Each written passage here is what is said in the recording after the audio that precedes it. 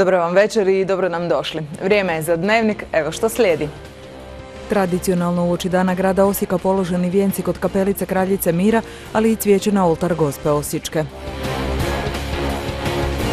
Osnovnu školu mladost, jednu od 400 Microsoft škola u svijetu, posjećuju učenici iz ruralnih sredina kako bi proširili znanja o korištenju interneta.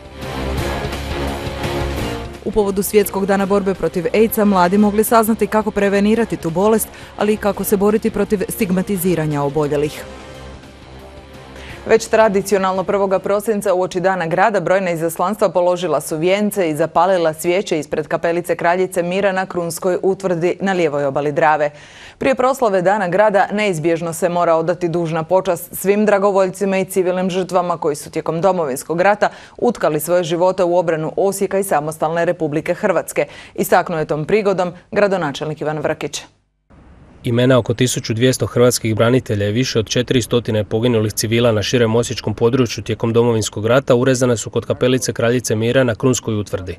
Vijence i svijeće ispred Velikog su križa, kao i svakog prvog prosinca proteklih godina, položile zaslanstva grada Osijeka, Osječko-baranske županije, Hrvatske vojske, MUPA te koordinacija udruga proisteklih iz domovinskog rata. Prije nego bilo što slavimo, a naročito takva proslava kao što je Dan grada, moramo slaviti one koji su nam omogućili da slavimo sve naše ugodne događaje kao što je to priprema za sutrašnji dan za proslavu Dana grada Osijeka.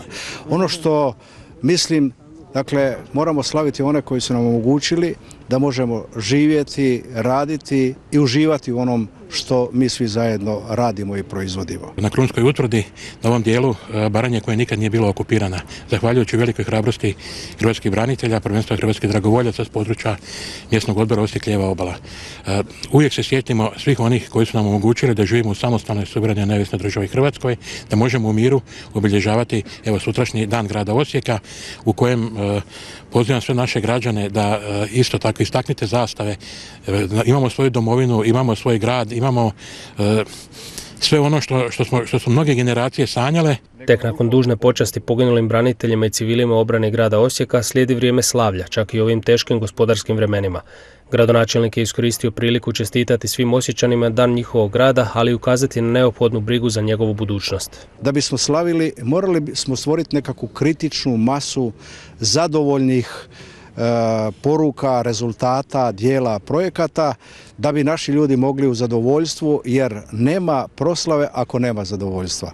Koliko smo mi učinili na tome, to ostaje na našim sugrađanima, ali mi to ne priječi da im čestitam dan grada, da im zaželim da imaju strpljenja, da svi zajedno radimo na tome da kroz konkurentnost stvorimo mogućnost da se naše, naše djeca ovdje zapošljavaju, da ovdje se obrazuju i da ovdje ostaju. Čestitajući Dan grada Osijeka svima našim građanima i građankama, pozivam vas na ono jedinstvo koje smo imali 90. godina, jer tada smo stvarali državu i smatram da kroz to jedinstvo možemo i ovaj grad izgraditi da bude onakav kakav svi mi želimo, a to je grad, srednjoeuropski grad, kakav je uvijek bio. U večernjim satima gradonačelnik Ivan Vrkić će sa suradnicima sudjelovati u tradicionalnoj svečanosti podizanja gradskog stijega na središnjem trgu Ante Starčevića.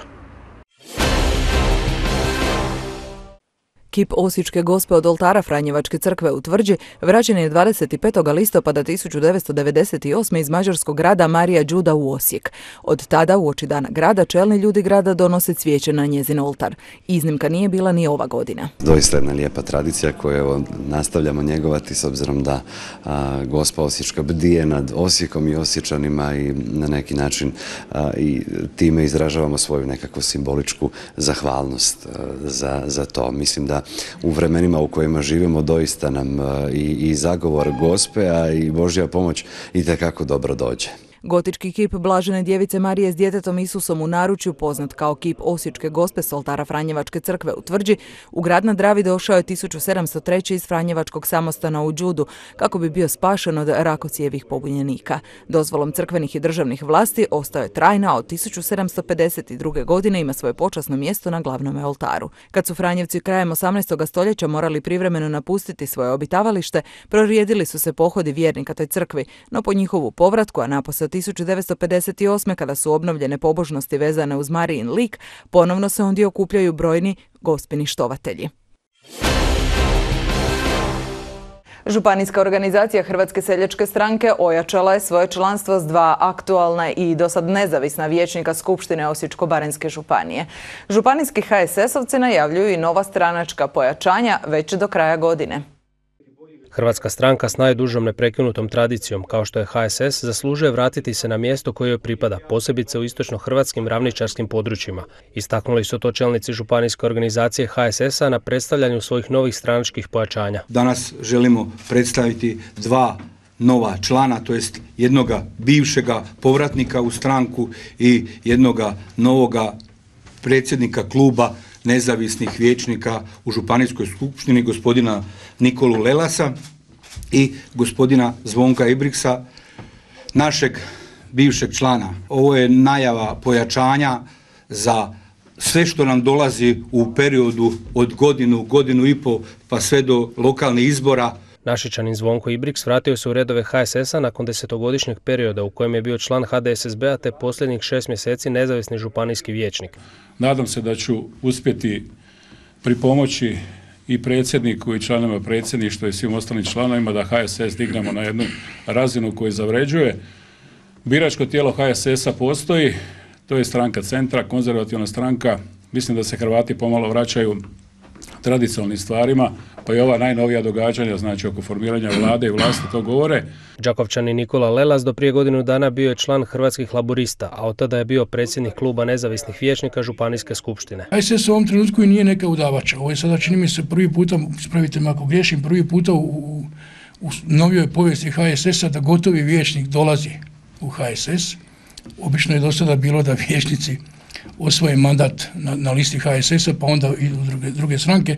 To samo govori da, da je stvari u meni želja da se, da se vrati ono izvorno hrvatskom, izvorno Slavoniji, da se, da se, da, da se u HSS-u prepozna onako kao što sam ja prepoznao kao jednu snagu, jednu markicu. Čelnici Županijskog HSS-a izrazili su zadovoljstvo ostvarenim rezultatima i na nedavnim parlamentarnim izborima. I želim samo reći da je ovo putokaz kako će HSS iz godine u godinu, iz mjeseca u mjesec rast, kad se sjetim kako smo zatekli županijsku organizaciju prije tri godine kada sam došao na čelo, mislim da smo se dokazali i sada ovim parlamentarnim izborima koji su iza nas Osječko-baranjska županija, to je naša četvrta izborna jedinica, e, druga po listi HSS-a na državnoj razini, što je jako dobar rezultat.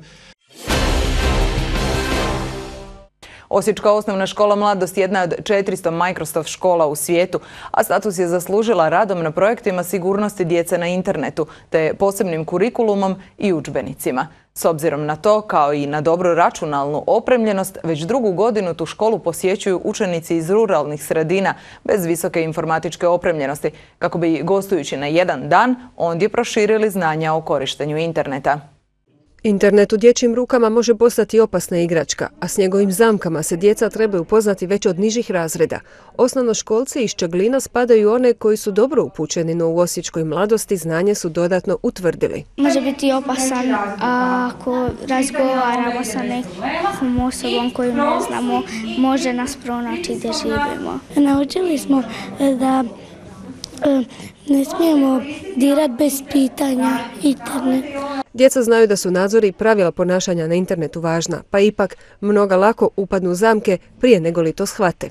Pa najčešće su greške zapravo među e, djecom te što dijele svoje lozinke, e, što zajednički rade nekakve stvari, imaju povjerenja previše, a zapravo ne štite sebe dovoljno. Nisu svjesni e, svih poteškoća kojim se mogu dogoditi. Djeca zapravo nisu ni svjesna kolike opasnosti vrebaju svakodnevno njima u, kad se prijave online, da je zapravo sve dostupno i da su svi dostupni njima.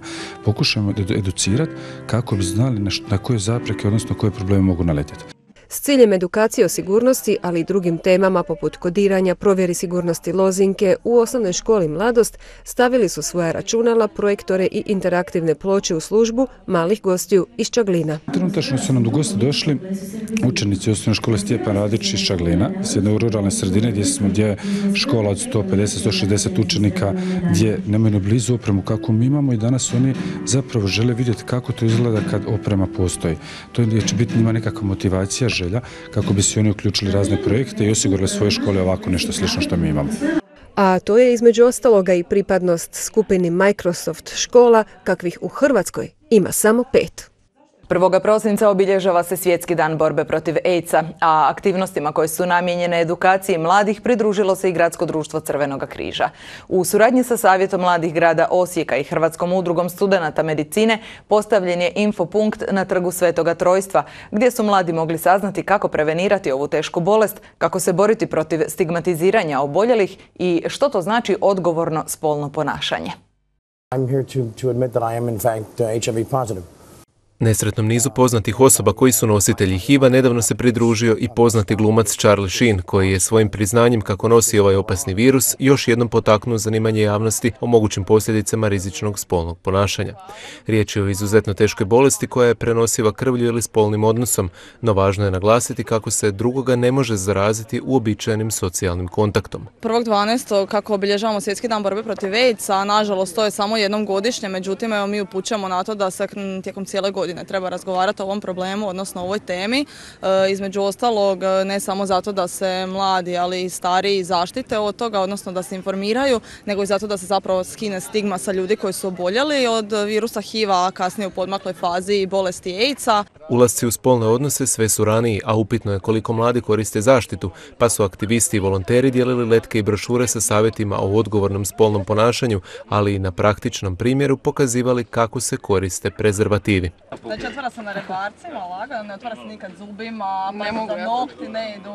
E, naučila sam e, kako koristiti kondom u slučaju spolnog odnosa, e, te kako se zaštititi u spolnom odnosu. Koliko je to važno?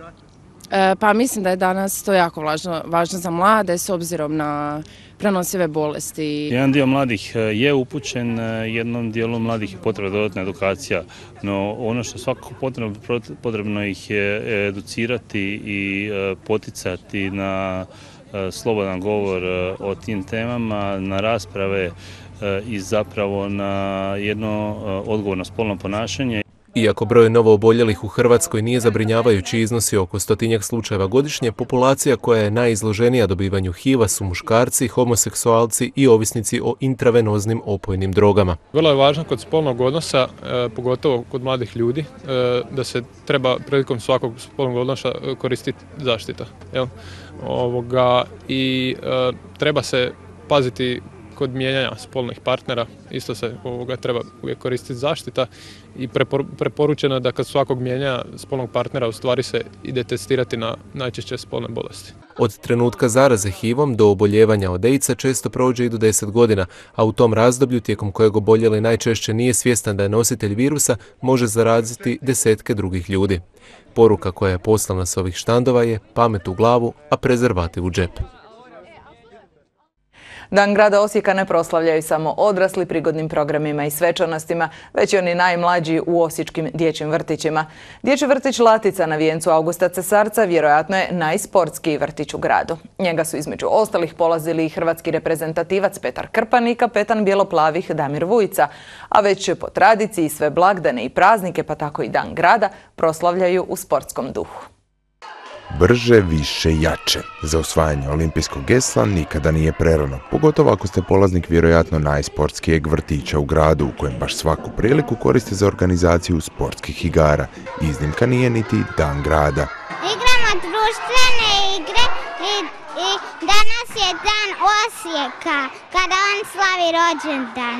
Mi smo iste brzine. Ne, nismo, smo susjedi. Da. Ste vas dvojice? Iste da. Nismo iste, nek sam ja malčice brže. Je to istina? Istina je. Navijački repertoar varira od onog klasičnog Osijek Osijek, što je posve normalno za vrtić kojeg su pohađali Petar Krpan i Damir Vojica, pa sve do malo zahtjevnijih tekstova. Pjevamo božićne e, pjesme za, e, zato da e, je brzo ćemo, brzo će doći Božić i brzo ćemo se voziti tramvajem i, i kada naš grad bude slavio, ja mislim da ćemo brzo to e, ići s tramvajem. Mališani dječjeg vrtića Latica nisu ovom prilikom zaboravili uputiti rođendansku čestitku našem gradu, ali i poželjeti mu nove sadržaje koji nemaju baš nikakve veze s njihovim osobnim željama. Ja želim da u našem gradu ima konjički klub. Konjički klub? Pa ima konjički klub u našem gradu. Ali voliš konje? Da.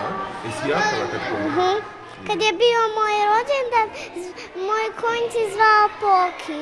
Da ima besplatne trgovine. Da ima besplatne trgovine. A šta bi ti prvo uzeo u besplatnoj trgovini? Pa... Flip. Ja bi voljela da idem na bazenu na plivanje. Pa to možeš svaki dan. Ne može se po zimi, ali je sad malo hladnije. Mora se priznati da su dječje želje uvijek najiskrenije, ali i najsimpatičnije. No to ne čudi, jer poznato je kako u zdravom tijelu, zdrav duh. I sport se proteže kroz sve aktivnosti u našem vrtiću, znači od jutarnjih tjelesnih vježbanja do igre u dvorani, na zraku, imamo plivanje, klizanje, znači maksimalno smo sportski, zdrava prehrana. A upravo je sve to u današnje vrijeme rijetko i na cijeni. Vidimo da djeca puno vremena provode pred računalima u igraonicama, znači igraonice su zatvorenim prostorima, a mi imamo veoma veliki prostor za igru na zraku.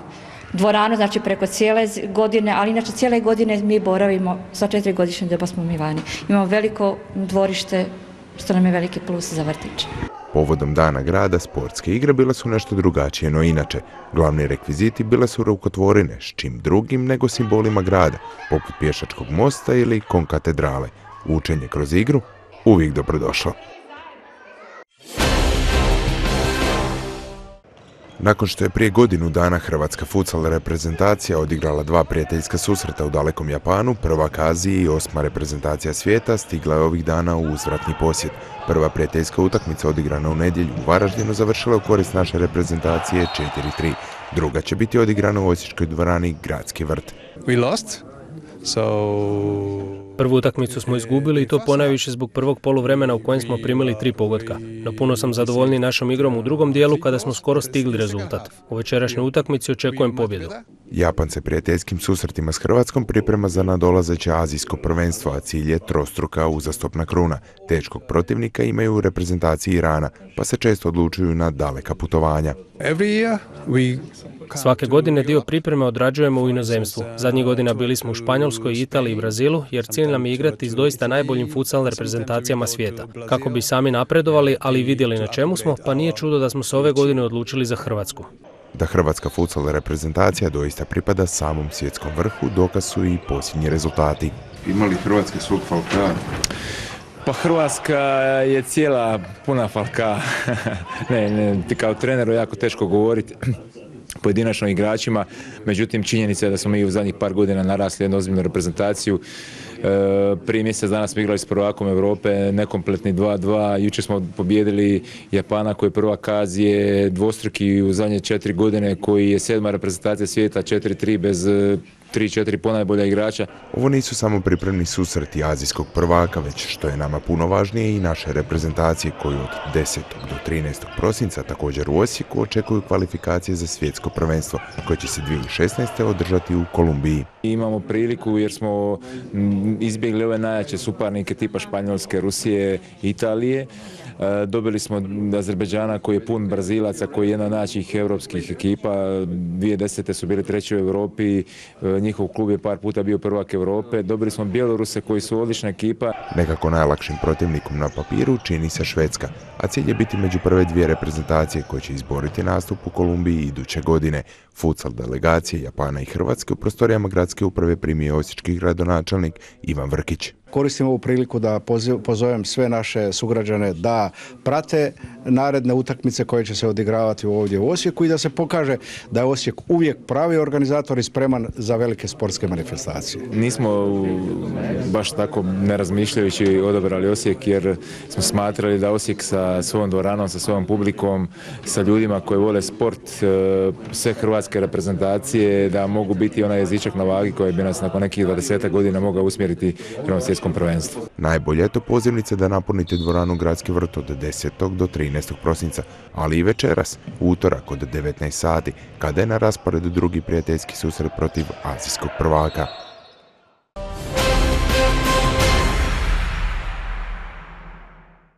Srijeda će diljem zemlje biti pretežno i dijelomice sunčana i iznad prosječno topla. Tijekom jutra moguća je mjestimična magla ili niski oblaci. Danju ponegdje umjerena na oblaka. Na kopnu će biti slaboga istočnog i sjeveroistočnog, na istoku sjeverozapadnog vjetra. Temperature zraka u jutarnjim će se satima kretati između 3 i 8 Celzijevih. Najviše dnevne temperature na kopnu će biti između 10 i 14 stupnjeva. Kao i uvijek uz najavu vremenskih prilika za sutra završavamo našu središnju informativnu emisiju. Hvala što ste bili s nama i doviđenja.